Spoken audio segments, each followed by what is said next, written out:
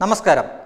അഫ്ഗാനിസ്ഥാനും അതിനൊപ്പം തന്നെ താലിബാനും വാർത്തകളിൽ നിറഞ്ഞപ്പോഴാണ് താജിക്കിസ്ഥാൻ എന്നൊരു രാജ്യത്തെപ്പറ്റി നമ്മൾ കൂടുതൽ കേട്ടു തുടങ്ങിയത്. താജിക്കിസ്ഥാൻ. നമ്മൾ നമ്മുടെ ഇന്ത്യയുടെ ഒരു സൗഹൃദ സുഹൃത്ത് രാജ്യം കൂടിയാണ് താജിക്കിസ്ഥാൻ. നമ്മുടെ ഇന്ത്യൻ പട്ടാളത്തിൽ അല്ലെങ്കിൽ ഇന്ത്യൻ ആർമിക്ക് നമ്മുടെ രാജ്യത്തിന് പുറത്ത് ഒരു മിലിറ്ററി ബേസുള്ള ഒരു രാജ്യം കൂടിയാണ് ഈ താജിക്കിസ്ഥാൻ. റിപ്പബ്ലിക് ഓഫ് താജിക്കിസ്ഥാൻ എന്നാണ് അതിന്റെ മുഴുവൻ പേര്. മുൻപ് ഇത് സോവിയറ്റ് യൂണിയനിൽ ഉൾപ്പെട്ടിരുന്ന ഒരു പ്രദേശമായിരുന്നു. അതിലിപ്പോൾ സ്വതന്ത്ര റിപ്പബ്ലിക്കാണ് എന്തുകൊണ്ടാണ് ഈ താജിക്കിസ്ഥാനെ പറ്റി പറയുന്നത് എന്നല്ലേ? ഇത് അഫ്ഗാനിസ്ഥാന്റെ തൊട്ട് അടുത്ത് കിടക്കുന്ന അയൽ രാജ്യമാണ്. ഈ താജിക്കിസ്ഥാനിൽ തൊണ്ണൂറ്റി എട്ട് ശതമാനം മുസ്ലിങ്ങളാണ്. അതായത് തൊണ്ണൂറ്റി എട്ട് ശതമാനം മുസ്ലിങ്ങൾ ജീവിക്കുന്ന രാജ്യമാണ് താജിക്കിസ്ഥാൻ അവിടെ മൂന്ന് ശതമാനം ഷിയ മുസ്ലിങ്ങൾ ഒഴിച്ചാൽ ബാക്കി സുന്നി മുസ്ലിങ്ങളാണ്. ഇപ്പോൾ ഞങ്ങൾ കാണിക്കുന്ന കുറച്ച് ചിത്രങ്ങളുണ്ട്. ഇത് ഇതെല്ലാം അടുത്ത കാലത്തുള്ള അവിടുത്തെ ചിത്രങ്ങൾ തന്നെയാണ്. ഇപ്പോഴും ഇത് തന്നെയാണ് അവിടുത്തെ വേഷവിധാനങ്ങൾ. നിങ്ങൾ ഈ കാണുന്ന ചിത്രങ്ങളിലൊന്നും മതപരമായിട്ടുള്ള യാതൊന്നും കാണാൻ പറ്റില്ല നിങ്ങൾക്ക്. അവിടുത്തെ സ്ത്രീകൾ സ്വതന്ത്രമാണ്. അവർക്ക് അവിടുത്തെ യൂണിവേഴ്സിറ്റികളിൽ പഠിക്കാം സ്കൂളിൽ പഠിക്കാം കോളേജിൽ പഠിക്കാം ഒരു പ്രശ്നവുമില്ല. നമ്മൾ മതേതര മലയാളിക്ക് തൊണ്ണൂറ്റിയെട്ട് ശതമാനം മുസ്ലിങ്ങളുള്ള ഒരു രാജ്യത്ത് ഇങ്ങനെയാണോ അവിടുത്തെ സ്ത്രീകൾ ജീവിക്കുന്നത് എന്നറിയുമ്പോൾ അത്ഭുതം തോന്നാം. സ്വാഭാവികം.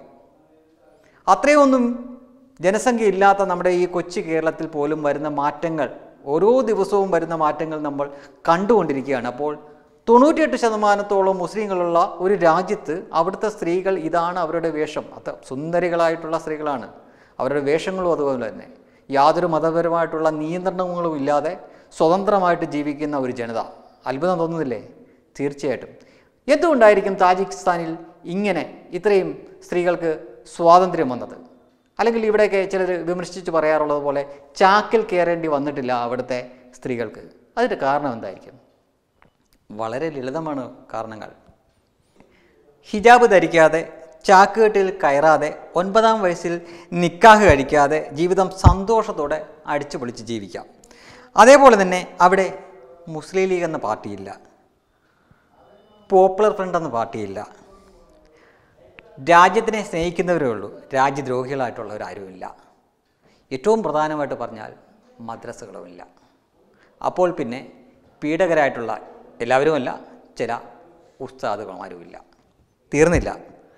ഈ മതത്തിന്റെ പേരിൽ ഒരു ലോജിക്കുമില്ലാത്ത കാര്യങ്ങൾ വിളിച്ചു പറയുന്ന മത പണ്ഡിതന്മാരെയും അവർ അനുവദിക്കാറില്ല. ഇവിടെയുള്ള എം എം അക്ബർ എന്നൊക്കെ പറഞ്ഞ ടീംസുണ്ട് അവരൊക്കെ ഈ തൊണ്ണൂറ്റെട്ട് ശതമാനം മുസ്ലിങ്ങളുള്ള ഈ രാജ്യത്ത് പോവാറ് പോലുമില്ല പോയാൽ അവരെയൊന്നും അവർ ഇതുപോലുള്ളവരെയൊന്നും അവർ പ്രോത്സാഹിപ്പിക്കാറുമില്ല. ഒരു സ്വതന്ത്ര റിപ്പബ്ലിക് രാജ്യമാണ് എന്നുകൂടെ ഓർക്കണം. ഏറ്റവും പ്രധാനപ്പെട്ട കാര്യം അവിടെ എസ് ഡി പി ഇല്ല പോപ്പുലർ ഫ്രണ്ട് ഇല്ല പി ഡി പി പോലുള്ള യാതൊരു പാർട്ടികളുമില്ല. അങ്ങനെയുള്ള ഒരു രാജ്യം എങ്ങനെ ഇങ്ങനെ ആവാതിരിക്കും? യാതൊരു അത്ഭുതവുമില്ല. തൊണ്ണൂറ്റിയെട്ട് ശതമാനം മുസ്ലിങ്ങൾ സന്തോഷത്തോടെ ജീവിക്കുന്ന സ്വാതന്ത്ര്യത്തോടെ ജീവിക്കുന്ന ഒരു രാജ്യം.